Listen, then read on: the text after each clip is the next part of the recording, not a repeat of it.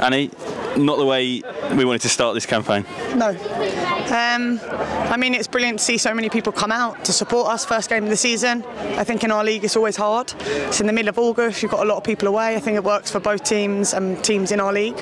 Um, but today it's just like we didn't hit the ground running. There were some really positive parts, um, but unfortunately it just wasn't consistent for that 90 minutes. Um, and it's a real shame to come off here and feel so deflated when I genuinely believe this is a side that we can compete with, if not beat, with the things that we did do well.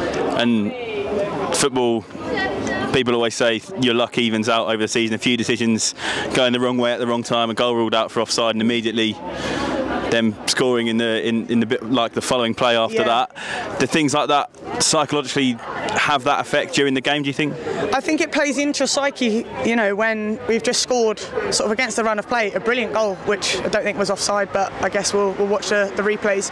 Um, and then, then for them to react, um, it, it's difficult, but it shows what we can do in difficult situations because we did go down and then we regained composure and we scored again. So it shows we can do it. Do we want to be doing that every week? No, we don't. But we were chasing our tails at points today, and I think that's something that we have been working on to try and conquer. But I think it just means we go back to the drawing board now Tuesday, Thursday for training, um, and hopefully we can work on the positives and take it into our next game next week. And then, like you say, into next week, Royston a chance to bounce back before a week off. The week ahead, two big sessions really. Yeah, two huge sessions now, Tuesday, Thursday, um, are going to be massive. We've played Royston for a number of years now, um, and it's always a great battle.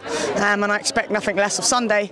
Um, I'm just hoping Sunday we've got more legs behind us, and I'm hoping that what we do on Tuesday and Thursday we can put it in, we can bounce back, and hopefully get our three points on the board.